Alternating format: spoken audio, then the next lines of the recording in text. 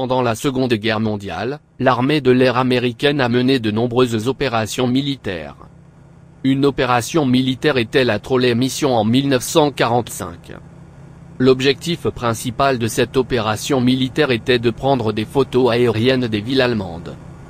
Mais un historien allemand de l'aviation a trouvé aussi des vues du ciel de villes françaises dans des archives militaires.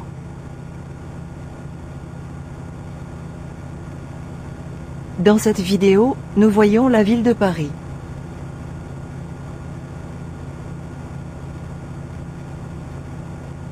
Les premières photographies aériennes montrent le palais de Chaillot. Le palais de Chaillot est situé sur la colline de Chaillot à Paris, dans le 16e arrondissement. Il a été réalisé lors de l'exposition universelle de 1937 par les architectes Léon Azéma, Jacques Carlu et Louis-Hippolyte Boileau. Ces trois photographies aériennes ont été prises par l'armée de l'air américaine US Air Force, pendant la Seconde Guerre mondiale.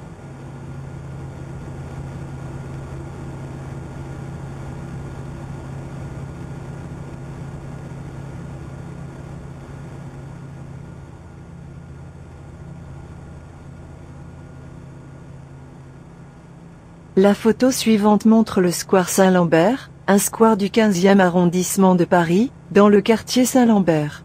À cet emplacement s'élevaient autrefois les anciennes usines à gaz de Vaugirard, mais les usines ont cédé la place à ce vaste jardin planifié par l'architecte Georges Sébille en 1933, à l'instar des nombreux immeubles d'un style typique des années 1930 autour du jardin. Ici, nous voyons le cimetière parisien de Bagneux.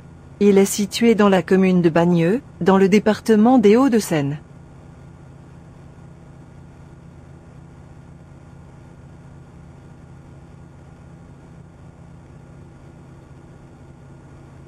Un des monuments de Paris, la basilique du Sacré-Cœur de Montmartre, située au sommet de la butte Montmartre, dans le quartier de Clignancourt du 18e arrondissement de Paris.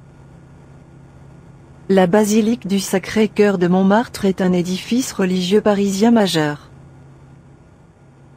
Sa position près de l'un des points culminants de Paris la rend visible de très loin. La prochaine photo montre la place du Maréchal Juin et boulevard Pereire, située dans le 17e arrondissement de Paris.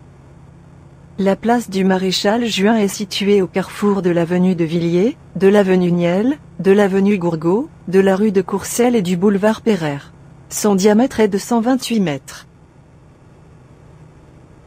C'est un autre monument de Paris, l'Hôtel des Invalides. Cet immense complexe architectural est un des chefs-d'œuvre les plus importants de l'architecture classique française. Aujourd'hui, il y a la cathédrale Saint-Louis des Invalides et plusieurs musées. La dernière photo montre Clichy ou Clichy-la-Garenne ou Clichy-sur-Seine, situé au nord-ouest de Paris.